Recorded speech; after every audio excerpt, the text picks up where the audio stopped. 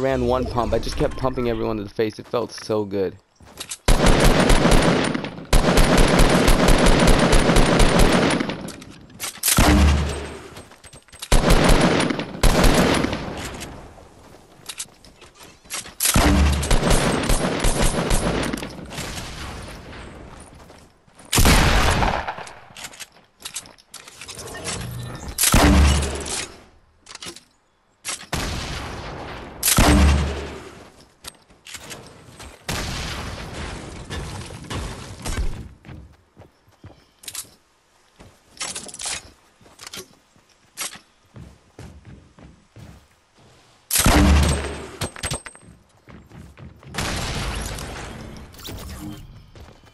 Easy.